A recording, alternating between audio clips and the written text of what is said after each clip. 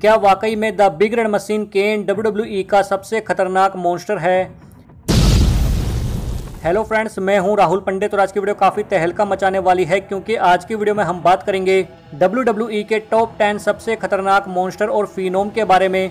ऐसे सुपरस्टार जो देखने में काफ़ी डरावने लगते हैं, जो अंधेरे में आते हैं, एकदम से गायब हो जाते हैं, अपने हाथों से बिजलियाँ कड़काते हैं, पटाखा फोड़ के दिखाते हैं। ऐसे सुपरस्टार जिनका नाम सुनते ही अच्छे अच्छे सुपरस्टार के पसीने छूट जाते हैं।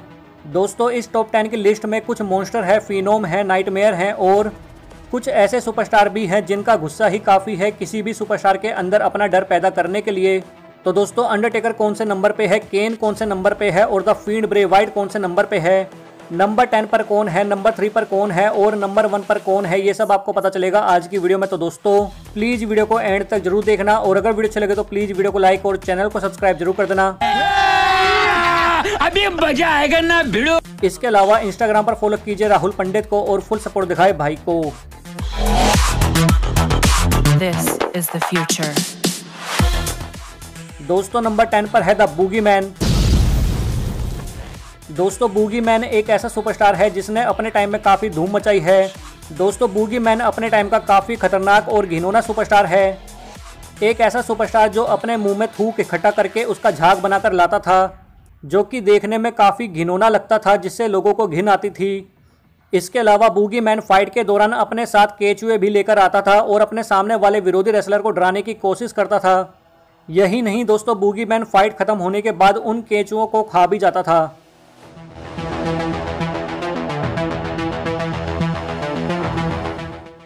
दोस्तों, नंबर नाइन पर है पापा सेंगो। दोस्तों, पापा सेंगो WWE का एक ऐसा सुपरस्टार है जिसे हम WWE का तांत्रिक सुपरस्टार भी बोल सकते हैं। क्योंकि दोस्तों, पापा सेंगो फाइट के दौरान अपने तंत्र मंत्र का सहारा लेकर सामने वाले विरोधी रेसलर को फाइट में हरा देता था, जो कि देखने में काफ़ी डरावना लगता था, जिसे देखकर सब हैरान हो जाते थे।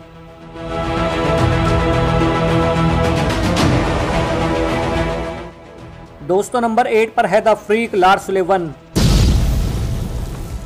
दोस्तों, लार सुलेवन एक सन की टाइप मॉन्स्टर है, जिसकी हाइट 6 फुट 3 इंच और वेट 330 पाउंड होने के बावजूद, लार सुलेवन की बॉडी बिल्कुल एक पहाड़ जैसी है, चट्टान जैसी है, जो कि देखने में दानव जैसा लगता है।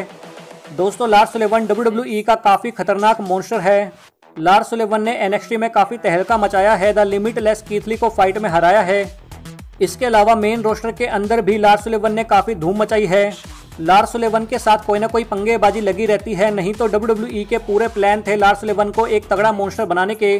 क्योंकि दोस्तों लार सुलेवन बिल्कुल सिंपल तरीके से आता है फिर भी सामने वाले विरोधी रेसलर के पसीने छूट जाते हैं।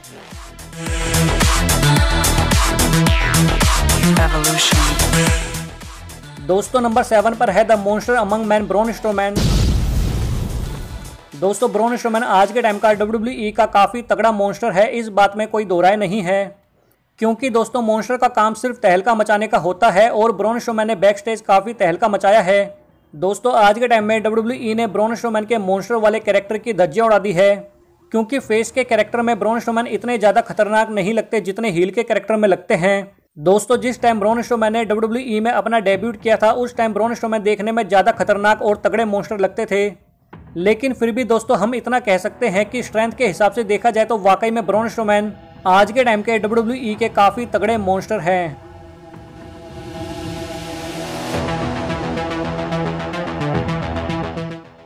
दोस्तों नंबर सिक्स पर है द फ़ील्ड ब्रेवाइट दोस्तों, जिस तरह स्ट्रेंथ के हिसाब से देखा जाए तो ब्रॉन स्ट्रोमैन आज के टाइम का WWE का सबसे तगड़ा मॉन्स्टर है।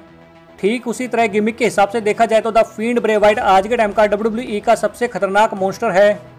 क्योंकि दोस्तों द फ़ील्ड ब्रेवाइट की एंट्रेंस थीम काफ़ी ड्रावनी है। फ़ील्ड ब्रेवाइट का मुखोटा काफ़ी ड्रावना है। इसके अलावा फ़ील्ड ब्रेवाइट आठ से दस फिनिशर खाने के बावजूद हार नहीं मानता। फ़ील्ड ब्रेवाइट की फाइट काफ़ी हटके होती है, जिसको देखने के लिए लोग काफ़ी ज़्यादा एक्साइटेड होते हैं।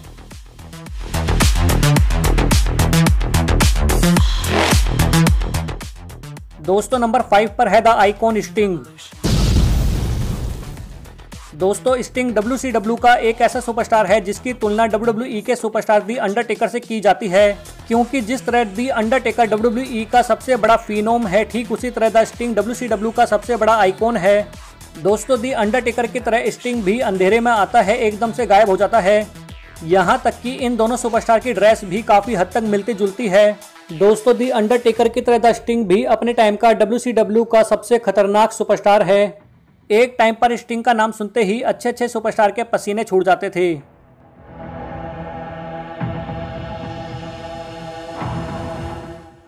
दोस्तों, नंबर फोर पर है the beast incarnate Brock Lesnar.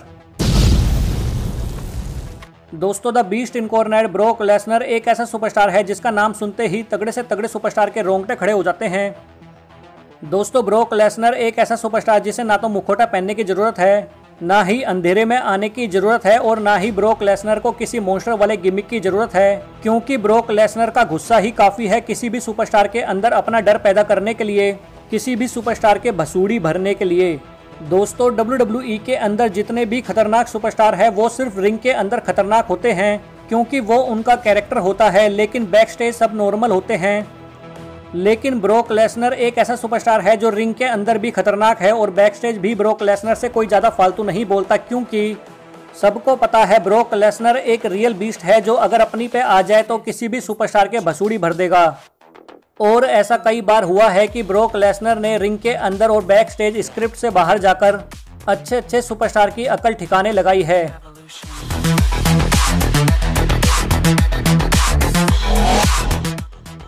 दोस्तों, नंबर थ्री पर है इंडिया की आन बान शान द ग्रेट खली। दोस्तों, द ग्रेट खली डब्ल्यू का एक ऐसा सुपरस्टार जिसे डब्ल्यू के अंदर अपने शुरुआती दिनों में द जाइंट मॉन्स्टर के नाम से जाना जाता था, क्योंकि दोस्तों, सात फुट तीन इंच हाइट और 418 पाउंड वेट होने के बावजूद द ग्रेट खली की बॉडी काफ़ी ज़्यादा मस्कुलर थी। दोस्तों, अपने शुरुआती दिनों में द ग्रेट खली इतने लंबे, चौड़े और तगड़े सुपरस्टार थे कि बिग शो और केन जैसे सात फुट जाइंट सुपरस्टार भी द ग्रेट खली के सामने काफ़ी हल्के नज़र आते थे। यही नहीं दोस्तों, जॉन सीना, स्वान माइकल, बतिस्ता और दी अंडरटेकर जैसे सुपरस्टार को द ग्रेट खली ने फाइट में धूल चटाई थी और डब्ल्यू e के अंदर अपने नाम की काफ़ी तगड़ी दहशत पैदा की थी कि द ग्रेट खली का नाम सुनते ही अच्छे अच्छे सुपरस्टार के पसीने छूट जाते थे।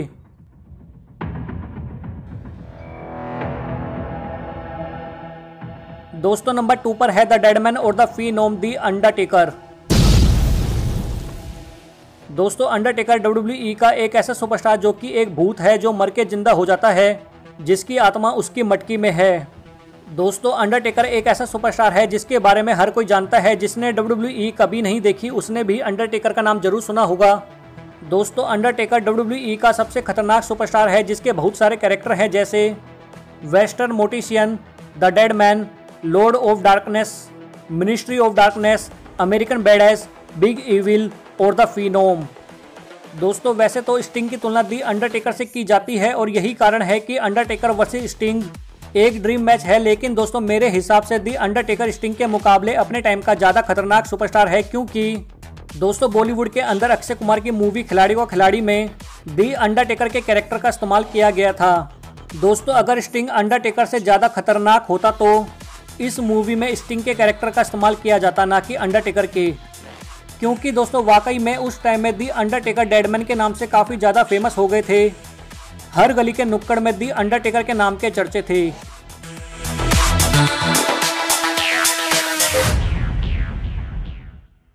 और दोस्तों नंबर वन पर है the big red machine Kane